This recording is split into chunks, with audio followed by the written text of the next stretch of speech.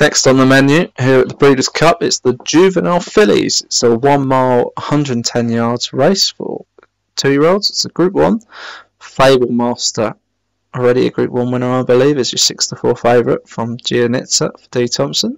Kareem Bride, Steve Rand, Mortified for Paul Rose, ninth configuration for Leon. Run for the Roses and Songbird for Dan Hughes, and Sun Goes Down for Martin Leadham. Only the 8 go to post for the Breeders' Cup Juvenile Fillies a mile around the track here and they're off. Good break by Run for the Roses.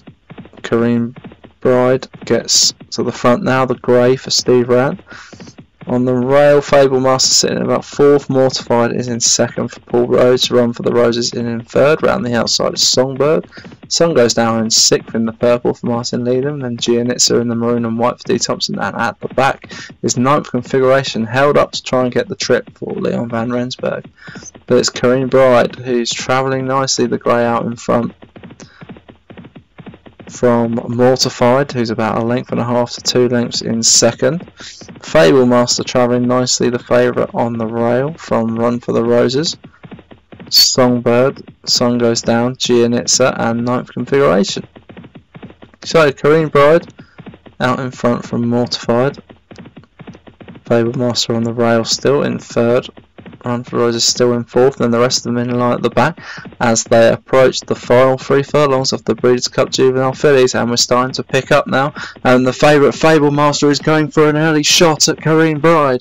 It's Kareem Bride from Fable Master who's not picking up just yet, and Kareem Bride kicks again on the bend for Steve Rand, and is about two and a half clear. Nothing's come from the back just yet. Ninth configuration probably making the best of her way home. But it's Kareem Bride. Here's Fable Master and ninth configuration Fable Master now staying on ninth configuration, going better though. Ninth configuration down the outside into the final furlong. Ninth configuration from Fable Master. Kareem Bride's giving way on the outside, Gianitza, but it's going to be ninth configuration for Lou Van Rensburg. Now they're staying on.